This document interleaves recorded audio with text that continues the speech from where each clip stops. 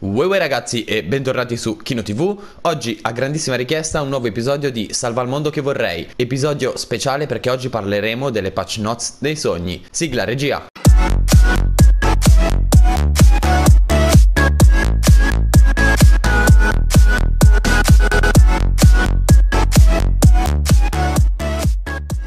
Per tutti i nuovi iscritti che non sanno di cosa parla questa serie e sono interessati a sapere di cosa parla, vi lascio in descrizione il link dei precedenti episodi, ma ho anche creato una playlist sul canale. Comunque, questa serie parla di idee di altri utenti o anche vostre, nostre, qualsiasi idea che riusciamo a mettere giù, creare un'immagine, insomma, esporre al pubblico cercando di spiegarla nel migliore dei modi, potrebbe finire in questa serie. Non perderò tanto tempo con tante chiacchiere perché, raga, ho un sacco di cose da dire in questo episodio, partiamo subito.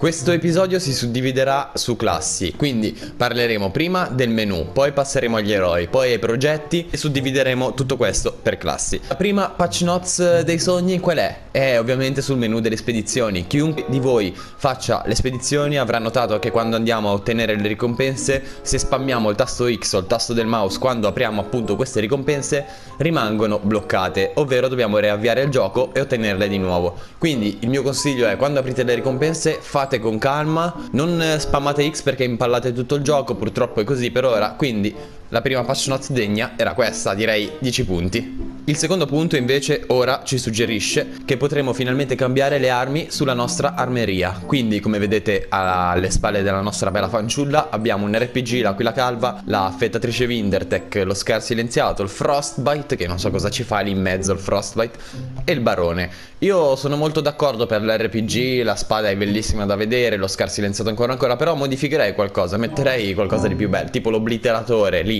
al posto del Frostbite aggiungere un background di sfondo a questa schermata qui. Anche questa sarebbe un'idea carina, al posto di tutti questi triangolini che...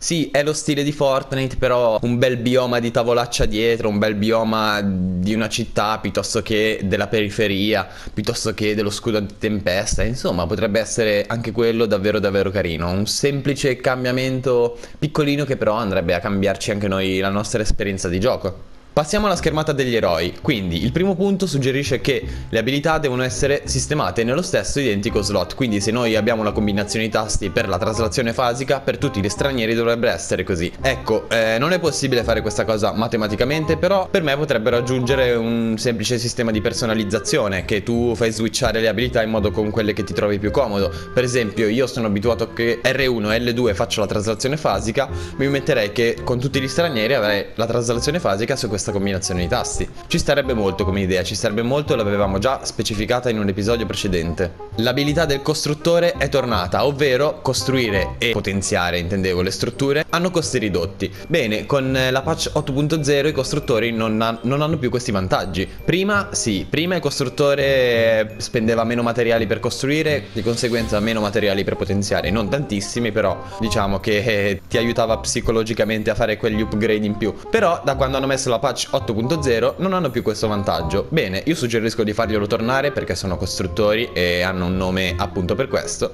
quindi Invece il terzo punto, semplice semplice, la torretta Rosy non ha il surriscaldamento. Ebbene sì raga, perché la torretta Rosy dopo un tot di colpi si surriscalda. Già a pochi colpi, in più si surriscalda togliamoli sul riscaldamento e lasciateci sparare contro gli zombie. Insomma, non è che la minigun del soldato si surriscalda dopo un po' che la uso. Allora perché la torretta si deve surriscaldare? Secondo me sarebbe Tanto è già nerfata, cioè voglio dire, più di 250 colpi non puoi sparare. Quindi lasciatemela nerfata al massimo, lasciatemi sparare quei 250 colpi come voglio, tanto prima li finisco, prima finisce la torretta.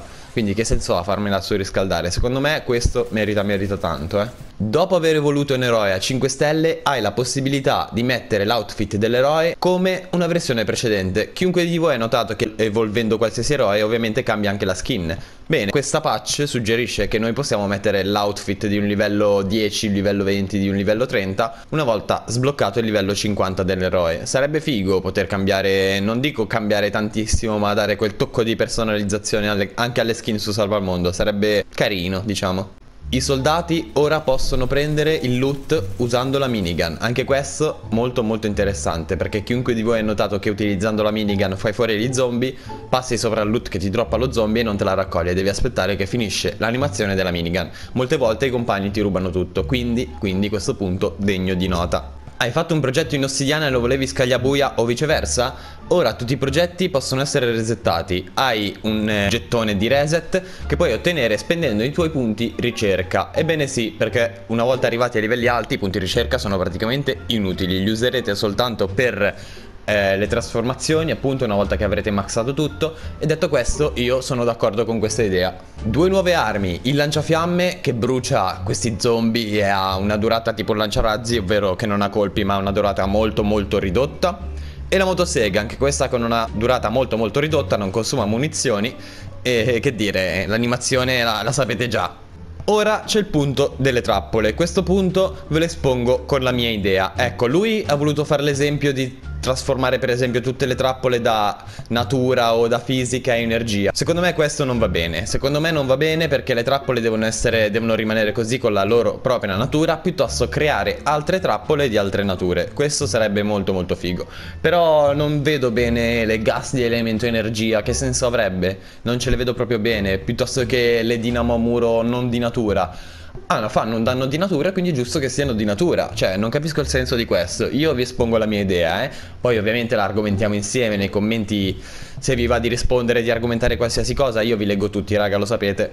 Il filtro per lo zaino, raga. Il filtro per lo zaino che seleziona solo le cose a 5 stelle, 4 stelle, massimo 3 stelle e tutte le cose di rarità inferiore le lascia automaticamente in terra. Questo sarebbe veramente veramente figo perché quando vado a fare le difese scudo così non ho paura a buttarmi in mezzo alla mischia che droppo tutte le cose di rame, diciamo, le parti meccaniche arrugginite perché come vedete il mio zaino è molto molto curato e dettagliato. Io ci tengo molto a avere anche molti spazi liberi perché si sa facendo le storm chest dobbiamo riciclare le armi, poi tante cose. Io preferisco sempre avere quegli slot liberi accumulando roba una stella me lo va sempre a riempire. Quindi il filtro per lo zaino sarebbe un'idea veramente veramente ottima. L'interfaccia utente suggerisce che nei nostri progetti si fa visualizzare la colonna per 4, quindi ci fa vedere molti più progetti nella prima schermata. Secondo me questa idea, raga, ottima, ottima. Ho sempre il problema che non trovo le armi quando scendo e voglio craftarmi un'arma. Mettermi 4 colonne mi semplificherebbe veramente, veramente la vita.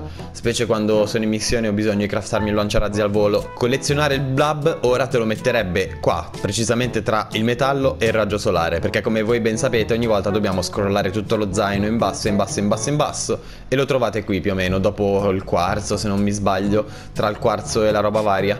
Ecco questa idea suggerisce di spostare quando lo troviamo il blab qui tanto che fastidio da uno slot di blab ma per me addirittura come primo così l'Epic non può sbagliarsi coi codici meglio non rischiare raga. Probabilità di critico ovvero livello critico e danno critico sono inclusi nel danno per secondo perché ora come ben sapete il danno per secondo va a svantaggio delle armi percate in critico ma ciò non ha importanza sull'effettività dell'arma però questa idea suggerisce che effettivamente il danno per secondo mostra veramente quanto fa il danno per secondo anche col livello critico e danno critico, perché così almeno non confondono le idee per i nuovi arrivati, diciamo. I compagni appariranno di diversi colori nella minimappa.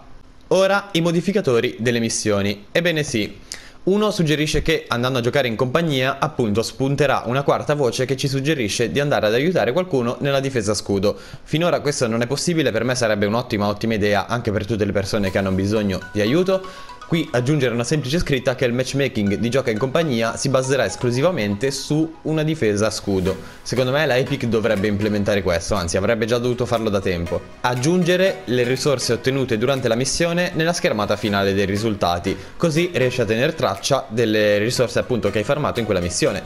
Ci sarebbe secondo me come idea, eh? se la Epic sarebbe capace di tenere traccia, cioè già lo fa, se nel nostro zaino le cose rimangono vuol dire che già tengono traccia nei loro server delle cose che noi farmiamo se riesce anche a mostrarle nella schermata finale sarebbe un'ottima idea secondo me. Questa opzione addirittura ti consentirebbe di vedere questa missione precisamente, quella massima, al 100, quanti Pieroe in questo caso mi dà. Perché c'è un calcolo 4 per i Pieroe e chi è livello basso magari non lo sa, non lo so nemmeno io che sono a livello 131, effettivamente quanto sia la paga per uno, figuriamoci per 4. Ecco, questa opzione suggerisce che ti fa vedere a posto che questo 4 per Pieroe direttamente la ricompensa, ovvero quanto sarà 300.000 Pieroe, 240.000 cavalca al fulmine, non lo so, eh adesso sparo una cifra a caso, ci fa vedere direttamente quella cifra. Che poi durante il weekend alzino le ricompense, eccetera, eccetera, quella è una storia a parte. Ora puoi visualizzare il numero delle allerte direttamente dal gioco non più dovendo aprire un'altra schermata. E questa secondo me va aggiunta perché non è giusto che io debba aprire un sito esterno per controllare quante allerte ho sul gioco. Cioè se riesci a farlo un sito esterno perché l'Epic non riesce